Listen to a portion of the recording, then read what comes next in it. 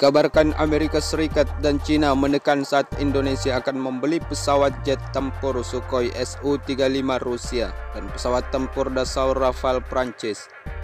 Saat kunjungan Menha Prabowo Subianto yang didukung penuh oleh Presiden Joko Widodo untuk melakukan pembelian pesawat jet tempur Sukhoi Su-35 dengan cepat menyediakan anggaran militer pertahanan Indonesia di bidang pengadaan alutsista atau relasi kerjasama dengan musuh Amerika Serikat.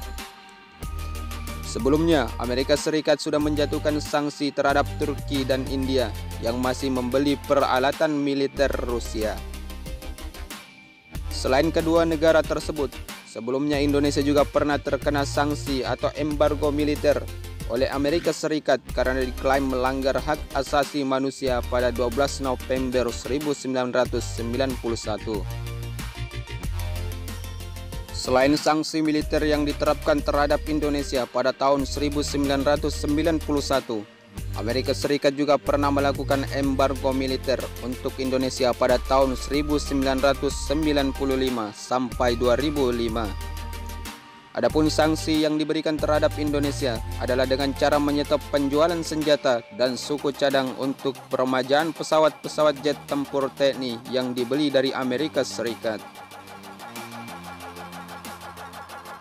Namun, tidak sampai di situ. Kini Amerika Serikat sangat berambisi hingga pada tahun 2017 lalu, Presiden Donald Trump telah memperlakukan undang-undang penerapan sanksi untuk melawan musuh-musuh atau pembangkang Amerika Serikat.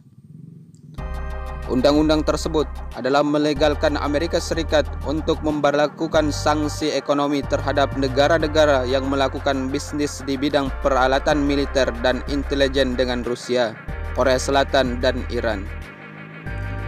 Dengan dilakukan kerjasama Indonesia dan Rusia di bidang perdagangan alutsista pertahanan militer, salah satunya adalah rencana Indonesia membeli 11 unit pesawat jet tempur Sukhoi Su-35 milik Rusia.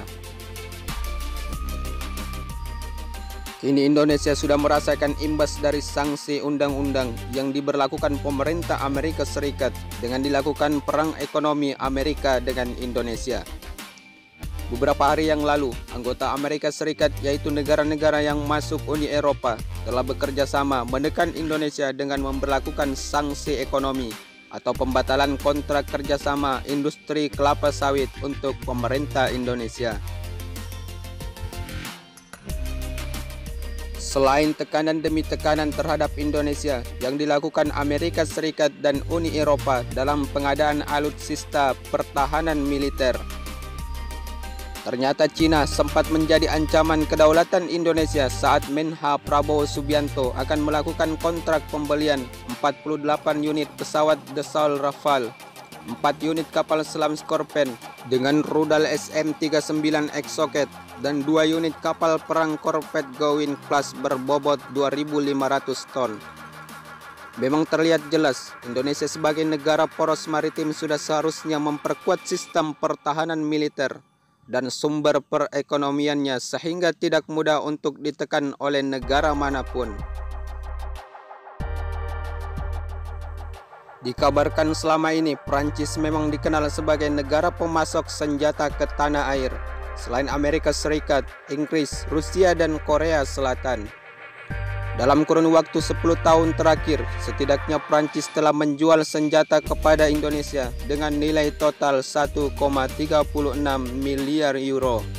Sehingga pada tahun 2013 senilai 480 juta euro namun, di saat Indonesia hendak memborong alutsista pertahanan militer Prancis, Cina mengalihkan perhatian pemerintah Indonesia. Sebab ancaman yang dilakukan Cina terhadap Indonesia saat itu adalah dengan mengklaim zona ekonomi eksklusif Indonesia yang jelas-jelas adalah wilayah kedaulatan Indonesia. Menurut peta dunia internasional, Laut Natuna diakui oleh UNCLOS atau Dunia Internasional bahwa Laut Natuna adalah zona ekonomi eksklusif Indonesia dan bukan milik China. Namun kini dikabarkan China terkesan melemah dengan mengakui kembali bahwa zona ekonomi eksklusif atau Laut Natuna adalah milik Indonesia sepenuhnya.